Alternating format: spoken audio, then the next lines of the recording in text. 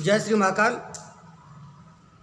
अभी कांग्रेस द्वारा जारी किया गया एक वीडियो चर्चा में है, सोशल मीडिया पर वायरल हो रहा है, जिसमें नारद जी आकाश मार्ग से भ्रमण करते हुए भगवान शिव को संबोधित करते हुए कह रहे हैं कि, हे भगवान, आपके महाकाल की यह दुर्दशा। तो इस पर भगवान शिव क्रोध में कहते हैं कि, मैं जानता हूँ कि जनता के रक्षक ही भक्षक बन चुके हैं अब कमलनाथ को लाना होगा। तो मेरी नज़र में यह भगवान शिव और नारद जी का इस प्रकार से उपयोग करना, दुरुपयोग करना, यह हमारे सनातन धर्म और संस्कृति के विरुद्ध है, खिलाफ है। कांग्रेस को इस प्रकार की नोटंकी कतई नहीं करनी चाहिए।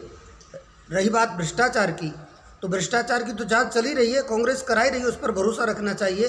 दूसरी बात यह है, मैं कहना चाहूँगा कि अगर इसी प्रकार का वीडियो बनाना था तो जब कमलनाथ जी ने हनुमान जी का केक काटा था। हनुमान जी की मूर्ति पर, केक पर जब वो छुरी चलाए थे तो उस समय बनाना चाहिए था।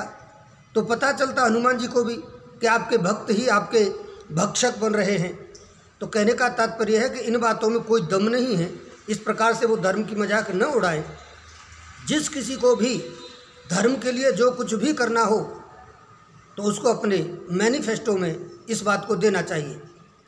कांग्रेस को अगर महाकाल मंदिर का टैक्स समाप्त करना है। दर्शन पर लगा हुआ कोई भी किसी भी प्रकार का टैक्स नहीं होना चाहिए। अगर ये बात कहनी है तो निश्चित रूप से उसको चाहिए कि वो अपने घोषणा पत्र में कहे। मठ मंदिरों का सरकारीकरण समाप्त करना है तो अपने घोषणा पत्र में लिखना चाहिए।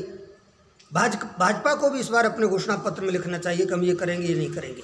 धर्म को लेकर के तो जनता को विश्वास होगा, लेकिन इस प्रकार से धर्म की मज़ाक उड़ाना भगवान का मज़ाक उड़ाना, ये बिल्कुल गलत है, हम इसे कदापि सहन नहीं करेंगे। और अगर ये नहीं रुके तो हम इसके विरुद्ध कोर्ट में भी जाएँगे और अभियान भी छेड़ेंगे। धन्यवाद। हमसे जुड़े रहने के लिए हमारे YouTube चैनल को सब्सक्राइब करें और नई वीडियो की नोटिफिकेशन के लिए बेल आइकॉन को दबाएँ।